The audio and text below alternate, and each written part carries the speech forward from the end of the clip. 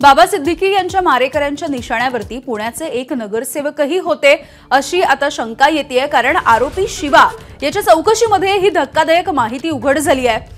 शुभम लोणकर याच्या निशाण्यावरती पुण्याचे एक नगरसेवक असल्याचा दावा आता केला जातोय. शिवानं हा दावा केलेला आहे. सूरज ओझा आमचे प्रतिनिधी आपल्याला अपडेट्स देत आहे सूरज दररोज ही वेगवेगळी आणि तितकीच धक्कादायक माहिती समोर येते आहे आता सुद्धा ही एक मोठी माहिती.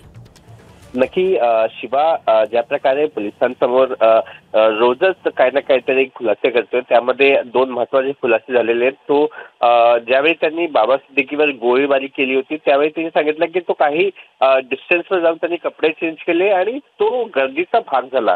तो लोकांच्या गर्दीमध्ये येऊन उभा उभा राहिला आणि त्यावेळी पोलीस लोकांना विचारत होते की तुम्ही कोणाला पाहिलंय का इथून जाताना किंवा संशयित व्यक्तीला तुम्ही पाहिलंय का? तर त्यात शिवा बोलतोय की त्यालाही देखील एक कॉन्स्टेबलने विचारला होता की तू कोणाला बघितलाय का इथून जाताना किंवा सस्पेक्ट पाहिलं होतं का? तर शिवाच्या चेहऱ्यावर त्यावेळी कुठल्याही प्रकारची भीती नव्हती. त्यांनी सांगितलं मी कोणालाही पाहिलं नाहीये. त्यामुळे पोलीस तिथून निघून गेली.